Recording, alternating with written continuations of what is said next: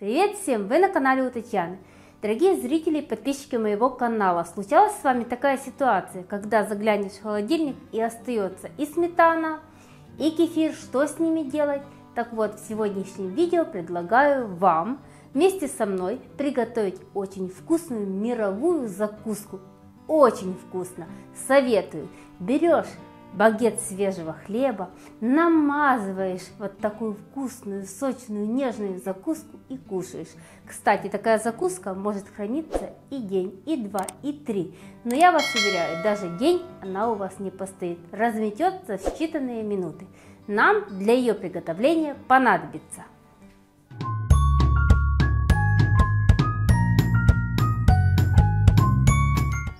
литр кефира. Жирность кефира не имеет значения. Литр сметаны 20% жирности. Одна чайная ложечка без верха соли, а также миска. Я в нее выстелила, чтобы вы подумали, конечно же, марлю 4 слоя.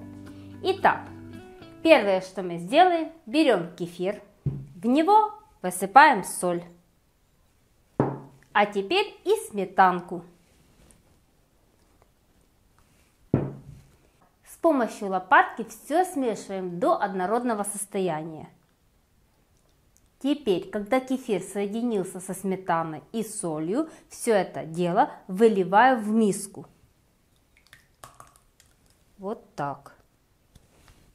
Берем марлю и связываем ее в пучок. Вот так. Использую канат и хорошо все связываю.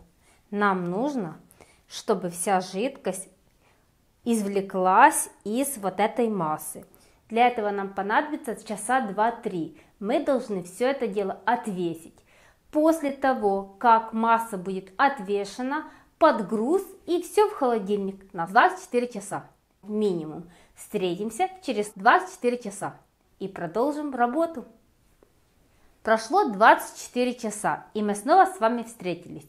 Я Вытянула из холодильника из-под гнета творожно-сливочную массу. Посмотрите, какая красота получилась, как паста. Что делаем дальше? Для приготовления мировой закуски нам понадобятся огурчики. Два вот таких больших свежих огурца. Понадобится чеснок. Это по желанию, но лучше добавить 5-6 зубчиков. А также подсолнечное масло 4 столовых ложки. Главное, чтобы подсолнечное масло было без запаха. Что делаем дальше? Я взяла терочку и натираю на крупную терочку огурчики.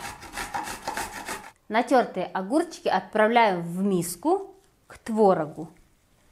Сюда же добавляем подсолнечное масло и пропускаем через чесночницу чеснок.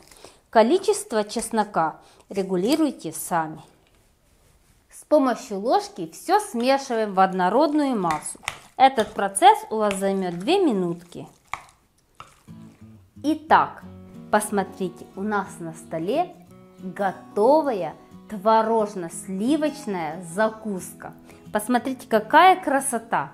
Берешь свежий, хрустящий белый багет, нарезаешь его щедрыми кусочками и щедро намазываешь вот такую закуску.